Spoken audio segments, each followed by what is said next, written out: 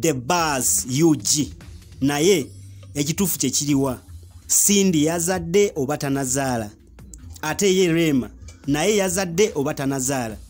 Wabula details zonna zonna nzireeta. Soka osubscribinge gwatanaba kusubscribinga onyigene ku kadde ka notification omanye ensonga zonna nga bwe zitambula wano ku the bars ug wabula nga bwe kugambye nti amawulire gadde gatambula even right now gakyasatulatinga ku mikutu. Last week amawulire mwagala aba nga galaga nti sindi sanya omuyimbi waffe owakabi eyakuyimbira kayimba bompate. Oyo omuyimbi w'amaanyi akikuba akasuka raga ey'amaanyi. Amawulire gatambula nga galaga nti azadde.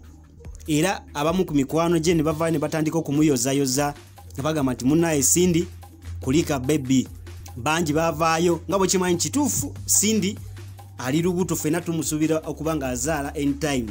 Era kati buli omu yavaayo natandika okumuyozayoza nagamba nti munaye webale okuba nga ozadde.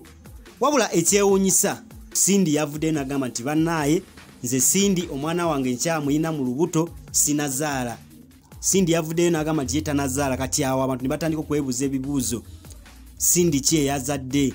Kuba abantu abasinga balabye abantu abasinga badde bakimanyi nti sindi eyazadde naye nga sindi yavuddeyo nagamba nti ye tanazaala omwana we akyamuyina mu lubuto.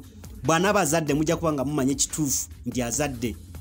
So yagamba tanazaala wabula possibility weeri egamba nti sindi yandiba yazadde naye nga bwekimanyi nti bano ba celebrities tebaagala okwerabisa tebaagala amawulire gaabwe gatambule nti yazadde baagala okuba nga bagakweka.